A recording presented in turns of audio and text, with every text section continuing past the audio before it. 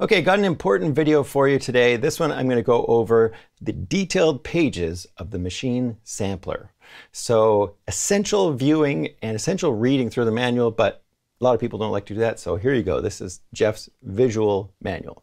So we're going to go over all of these pages that you see here in the sampler menu. And this is kind of the fundamental building blocks of sound in Maschine. You realize you could take any sound of any sort, whether it's you know sampling a beautiful hardware synthesizer or a virtual instrument and then tweaking it and making your own patches after it's been turned into audio, or whether it's recording your own sounds and turning that as a building block into a sample or a synthesizer type patch.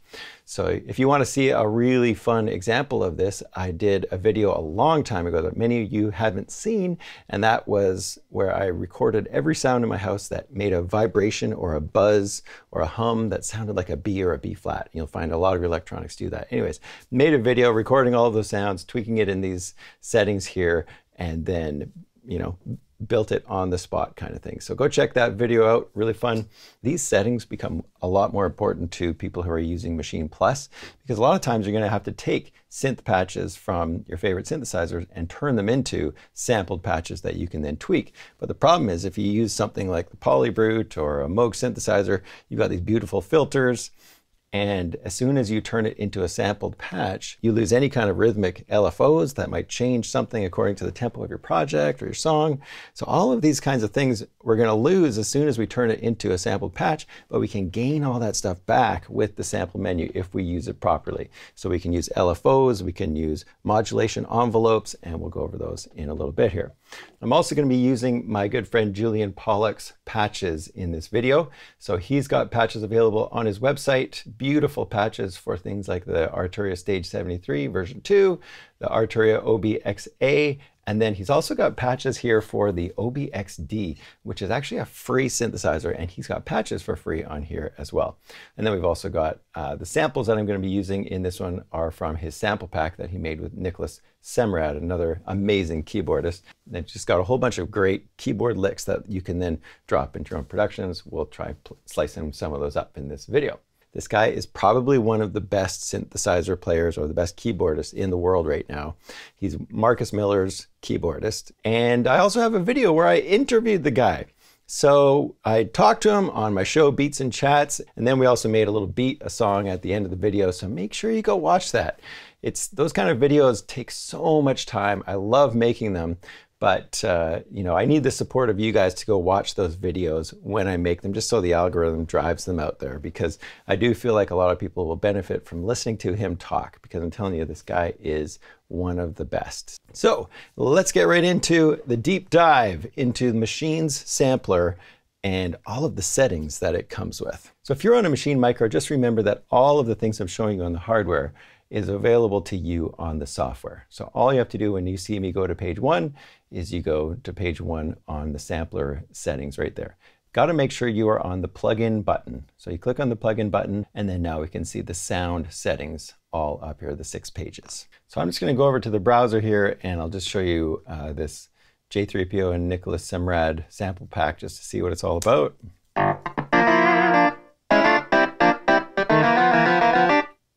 So we got some clav loops, piano loops,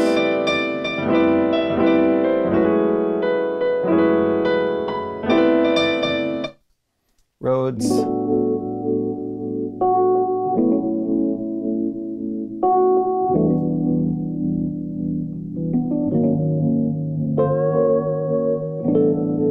There's beautiful playing in here.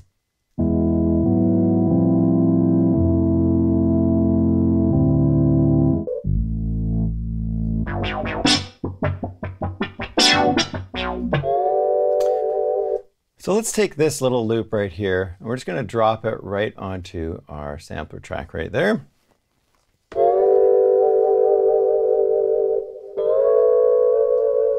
And I'm going to slice this up. Of course, I've got a video on sampling, slicing, and stuff like that, but uh, we'll just go through this, do this real quick.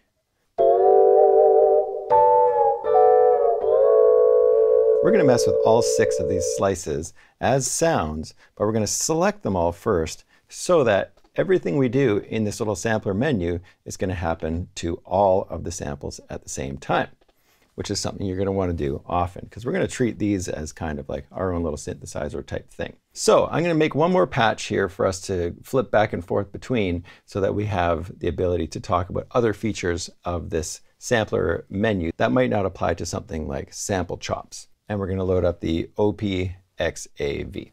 Okay, so this is Arturia's instrument, and in this one, I do have the patches by Julian already set up here. So if I go over to my sound banks and go to J3PO, there we can see all of his patches.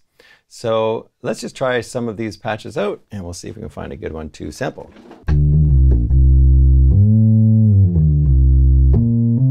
Okay, this bass sounds really good. I kind of want to just go with that one.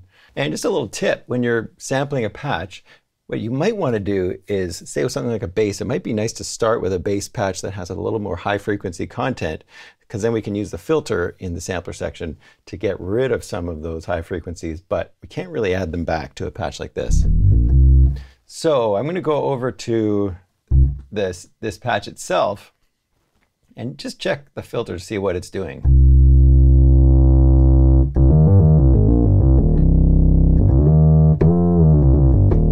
That sounds pretty good. So now we've got a, a bit more of a buzzy patch, which I'm going to sample, and then I'm going to filter it down a little bit to get it warmer to where Julian already had this patch. So that sounds great.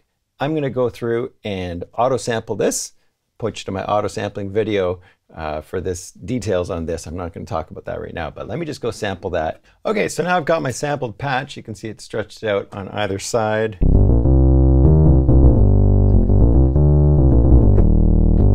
Here's the original. So we're good to go for our sampled patch. And as you can see, this is a sampler that we're in, but sampler in Maschine is a lot more powerful than people think in terms of you can have multiple zones, you can have multiple notes on one sampled sound, and you can have also multiple velocities. So there's a whole lot there that uh, doesn't get tapped into as much as it probably should, and we're going to switch between these two patches. We've got our samples. And then we've got a sampled instrument. So we'll start right at page one. We've got voice settings, polyphony is set to eight. That means I could have all of them playing at the same time if I want to. Well, it's a bass patch. I'm probably going to want to keep that to either one. So when it gets to the next note, it cuts it off. So if I go back to keyboard mode, you hear that it doesn't allow more than one note to be played at the same time. And then of course you can crank this up to as many voices as you want, but you're usually going to be going something like one legato or a whole bunch of voices. So if I set this to legato versus one, that means when I play a note, like a monophonic synthesizer now. And we can determine how the note slides up to the next note. So if we turn slide, it's like portamento on a synthesizer. So again, we're just adding all of the controls that we'd have on a synthesizer to a sampled patch. Now you can hear it's taking 0.87 seconds to get to that note.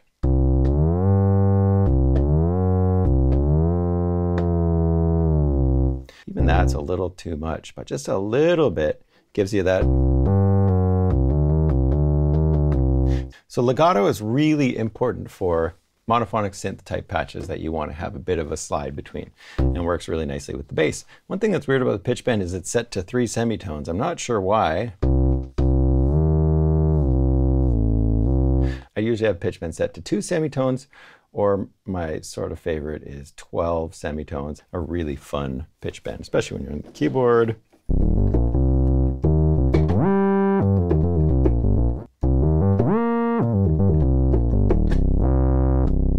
So I do that with more with synth leads maybe than bass, but uh, it's a lot of fun. Next we've got the engine, and in this case, this allows you to change the quality of the sampler itself and to go back to some of the more classic sounds of uh, the old Akai samplers. So let's see what happens if we go to a sample and we'll change the mode.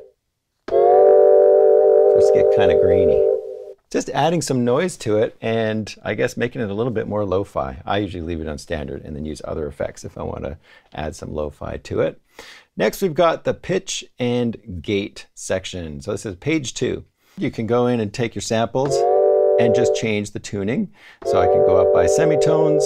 Uh, I like to use this if I'm using a sample that's been recorded but is slightly out of tune. But this is also the time where I will go and take individual chords and change the pitch of those. So in this case, I've got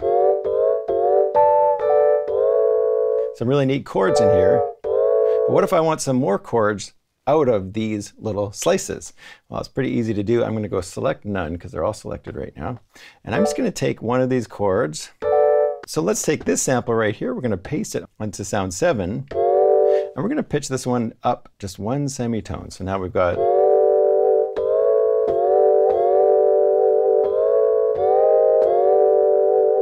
Okay, so I got a little idea here.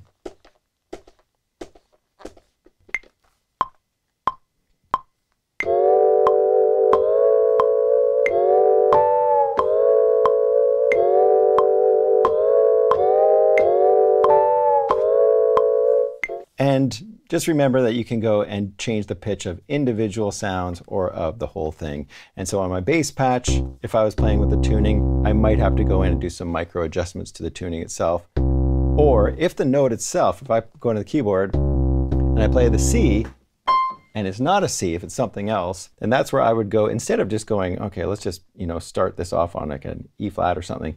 I like to have these notes here match up with what the note actually is. So you go over to the sound menu and you adjust your tuning so that that note is actually a C. All right, just some really quick, easy things. We've got the start time. That's just the start of the sample. If I go over to my slices,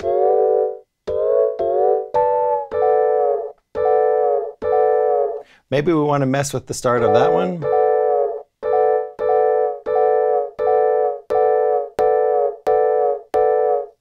Now you can hear it's kind of cutting into that sample a little bit later.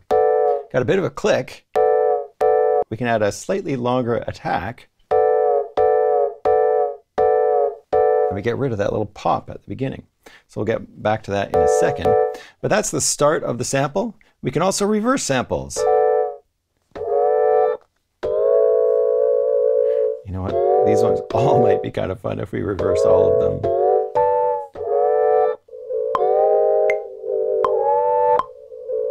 Ooh, that's really neat. I wonder what would happen if we mess with the start time on these. Let's go start a lot later. Okay, so for this next thing, I want to talk about ADSR and one shot. And I've loaded up another sample, another one from J3PO. And so when you have it set to one shot on a sample like this, it's just going to play it. And a lot of times that's exactly what you want. Other times you want it to play only when you hold it down. And so we've got two options here. One is AHD, which stands for attack, hold, and decay. And it's showing you how quickly it's coming in, which is right away. And it's only holding for a quarter of a second. So let's crank that up. And then as soon as it hits that 2.8 seconds, it's just going to drop out according to how fast this decay setting is set to. I will almost always go to ADSR because I want all four of these classic envelope controls. So I've got a little diagram here of ADSR. And I've got a great video on synthesizer synthesis basics. Make sure you watch that if this stuff is all kind of new to you. But here we can see attack, decay, sustain, release. And so you can see the attack is the amount of time when you hold down a note, how quickly is that sound coming in? And the decay is going to determine how quickly does the sound decay or drop down to the sustain level. So attack is time, decay is time, how much time it takes to get to the sustain level. And then sustain is a level, so we can see that according, they've got it just set to either one as maximum or down to zero. So that's one up top and zero all, all the way at the bottom. If your sustain is set to one, your decay is going to be completely meaningless because there is no drop in level. So watch what happens here. nothing really changes at the beginning of the sound. If I drop my sustain level, we're going to hear it drop down after the initial attack and this initial quarter of a second decay. And there's the sustain level. It's kind of quiet. This is a really weird one to show it on, but I think it's actually probably going to make more sense. Watch what happens if I make my decay a little bit longer. Now really long, and it's taking longer to drop down to that lower sustain level. And then the release, when you take your finger off, how quickly does it stop playing the sample? 627, now a full second you're decaying out. So a lot of times you might want that release really quick so that it's just, as soon as you let your finger off, the sample stops. So same thing with this bass here. So right now it's a 217 millisecond release. If I crank that really fast, here it stops immediately. Why would I want a sustain that's lower than one? It's because you can craft um, an attack of your sound to be maybe quite aggressive at the beginning and then drop down to a more subtle level. So it's not something that is makes a lot of sense, but it is something that can give you creative control over your synthesizer sounds. And the fact that we've got this built-in the sampler is just so nice because it means you can do all the synthesis type stuff to your samples and treat them like a real synthesizer. And let's see what happens now if I set the sustain.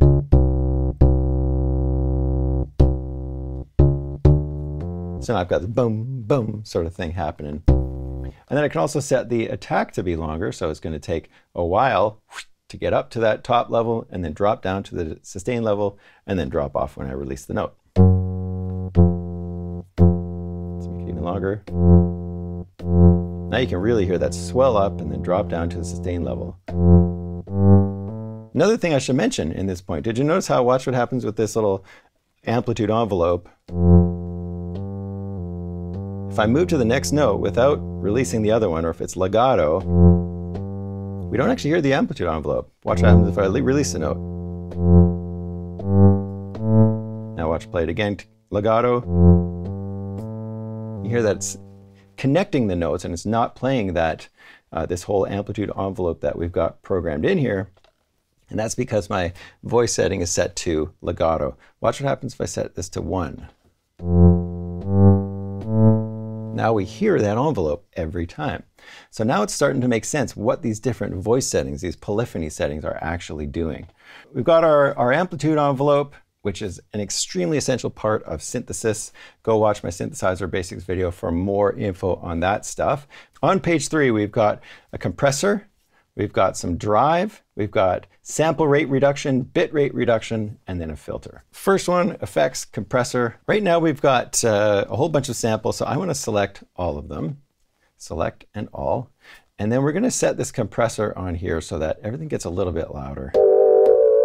So now we're getting a little bit uh, more of a consistent level. And then we have drive here as well, which we can add some distortion.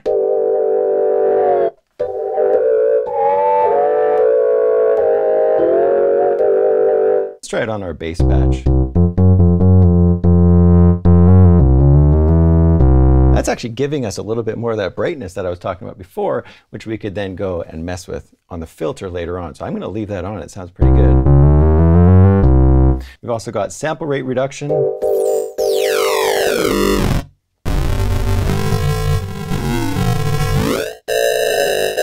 Really low-fying things up. We've got bit rate reduction, which sounds different. Just adding some of that noise in there. And then we've got the filter section over here. So this is where things get a little bit more exciting for making your own synthesizer patches. We've got a filter and it says LP2, BP2, HP2, and EQ. So another little graphic for you right here, we've got this low pass filter, high pass filter, and a band pass filter. So the low pass filter, if you look at this little diagram here, you can imagine this is frequencies from low to high.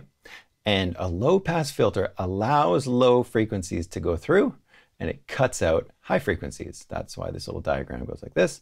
High pass filter does the opposite, allows high frequencies through, cuts out the low frequencies. And then we've also got a bandpass filter. The bandpass filter only allows a range of frequencies through. So it's going to cut the lows and the highs, but it will allow you to move that band around, which can get some really cool results. So let's go look at the, the bass patch here. And we're going to put a filter on. And we'll start with the low pass filter. Got a cutoff of one kilohertz. So that's saying somewhere at around one kilohertz, this thing is going to kick in and cut frequencies. There probably isn't a whole lot of frequencies past one kilohertz. Let's turn it off. So it gets brighter. Watch what happens as we move this cutoff frequency down. So we're actually going to move this line over to the left.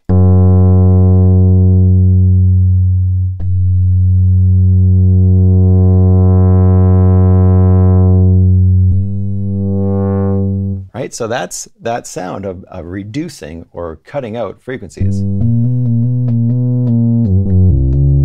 Remember I said initially the patch had this really warm tone. With the filter, we can now get rid of those high frequencies, but have the option later on to control this cutoff and to actually make those frequencies come back if we want. We can uh, then also choose a bandpass filter, which is this one in the middle, and we're gonna just move that big bump around from left to right. Got a high pass filter, which is this one here, allowing the high frequencies but cutting out the low frequencies.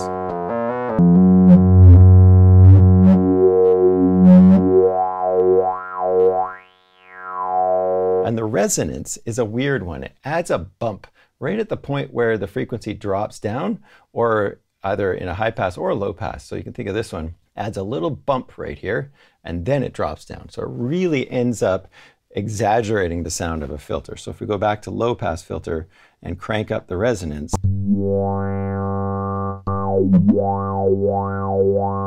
versus resonance down. So it really adds that nasal quality, a really another really important parameter, also something I go into extensively in my synthesizer video. So go check that one out. So we are on page four now, modulation envelope. Modulation envelope is another really cool thing is that we have the ability, just like my synthesizer here, the Polybrute has a modulation envelope. So it's got ADSR, attack, decay, sustain, release settings, which we can then apply to any parameter on the Polybrute. Well, you can do the same thing on the Maschine hardware or in the Maschine software. So here you can see again, attack, decay, sustain, release, but then we get to decide where that is going. Let's start with the pitch. So we're going to crank this up so that 100% of whatever we decide to do here is going to assign to our pitch parameter. So watch what happens when I play a note. Not a whole lot.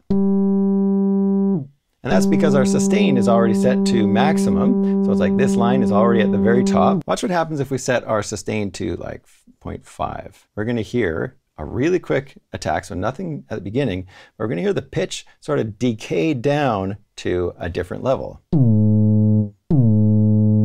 And watch what happens if we change that decay to be a little bit longer. So the note you're hearing is whatever the sustain level is set at. Because remember, this sustain is always a level. So right now our level is 0.5, whatever that means. And right now I'm actually playing a G.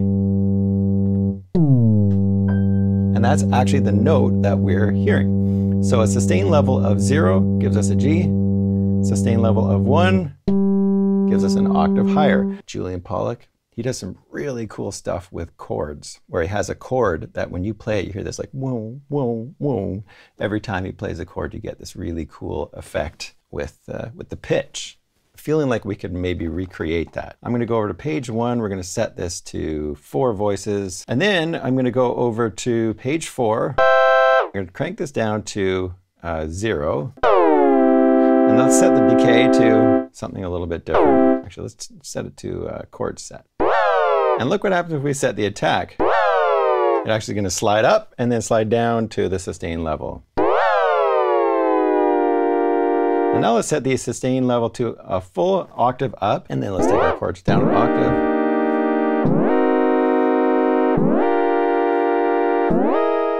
So pretty cool stuff, this, uh, this modulation envelope, assigning to the pitch. So this is another major purpose of something like a modulation envelope is assigning to the cutoff. We need to put a filter on for starters. So I'm going to go to low pass filter. So now we can hear the cutoff right here. Let's crank this way down. And we'll crank the resonance up so it's a little more obvious. When I have this modulation assigned to the cutoff, let's see what, if we, what happens if we play with it a bit. Let's change the attack so it kicks in faster. And it's going to full sustain level. So it's going up and then it's hitting the sustain level because this, and this decay is doing nothing at this point. If I want the decay to do something, I would bring the sustain level down to some other number. So now we can hear it going up, hitting the de decay, coming down, and then hitting the sustain level.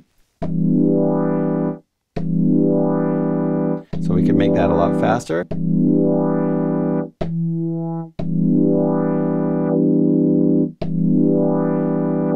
Can hear fast decay. Now let's go a little faster attack.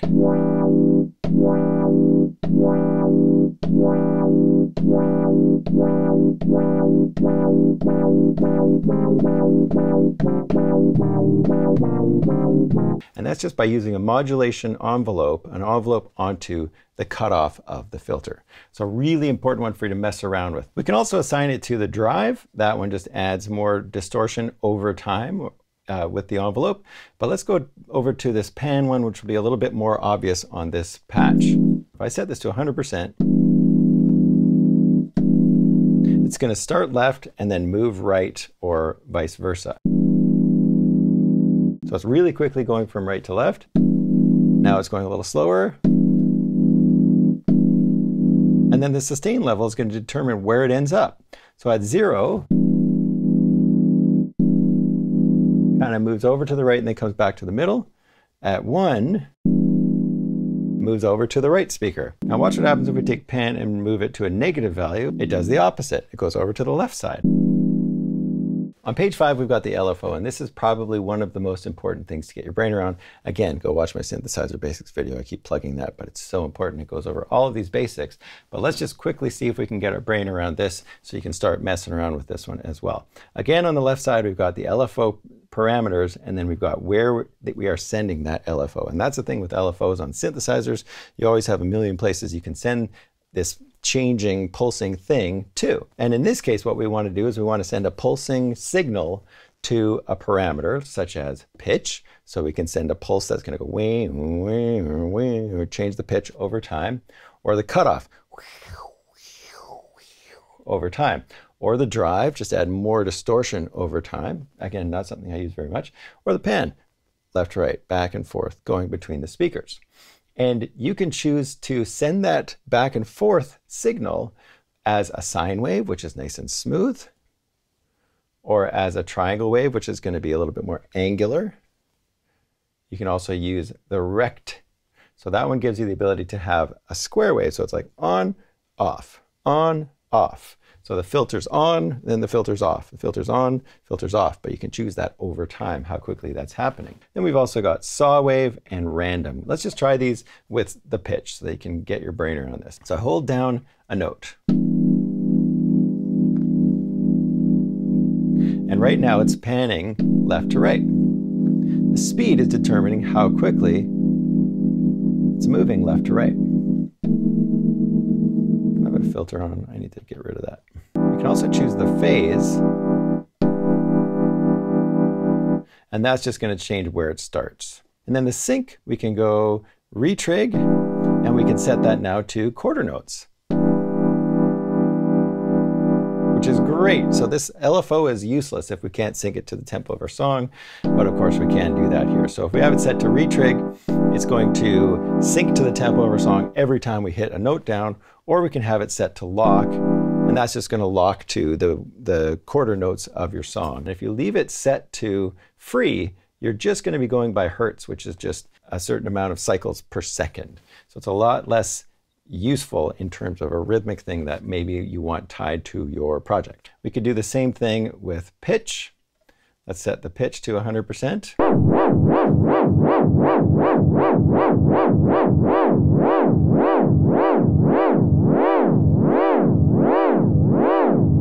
Okay, so sine wave makes sense. Now let's try a different wave. Triangle wave. Very similar. It sort of stays at the top and the bottom of a sine wave a little bit longer just because of the shape. We go to rectangle or square, and that gives us this pulsing sirens up, down, according to quarter notes. Then we have saw. So that starts high and then drops down slowly. Jumps up, drops down slowly. And then we can reverse the pitch, and now it's going to go the other way. Right? And then the last thing, page six, we've got velocity destination and mod wheel destination. If you play hard on a chord, do you want something to change? What can you change? Well, you can change the volume. So that 100% means if I play soft, it's going to play the chord back soft. If I play hard, it plays loud or at full volume. You can also invert that, I guess, so that if you played hard, it plays soft, I guess. Meh. Never done that, but hey, you know, maybe that's cool. Cutoff. Let's crank that up and turn the filter on. Don't forget to turn the filter on if you're going to do any of this kind of stuff. So as I play softer,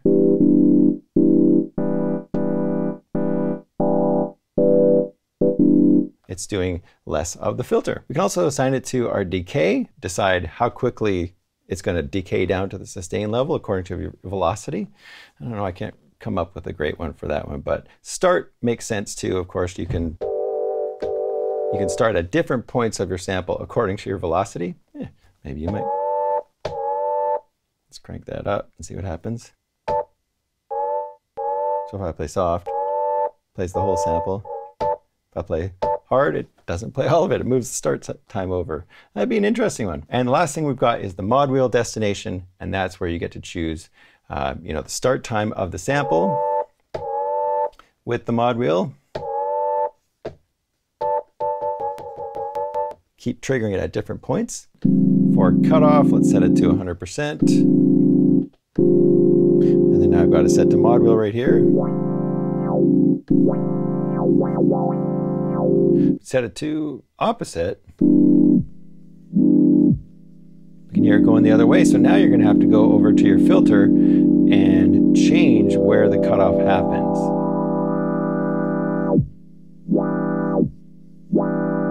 Right? So even though it's a low pass filter, it's like it's working in opposite direction. And then we've also got on the last page, we've got pan, and we can set that to 100%. So there's a ton of stuff in there, the sampler menu, but what it allows you to do is take sampled patches that you've captured, whether you're using the auto sampler and capturing other synthesizers, just capturing one single note and then being able to turn that into a synthesizer patch, or whether you're triggering actual samples, you know? We can use the sampler settings to completely change those kinds of sounds as well. So it's a really important thing to understand with Maschine. And I think the beauty of this device is how simple it is to access those kinds of things. And that's what makes it so much fun to use because you can so quickly get to the filter, you can so quickly get to the LFO and change the most obvious things that you might want to change on a synthesizer patch. So hope it was useful for you hit the subscribe button and the bell, and we'll see you in the next video.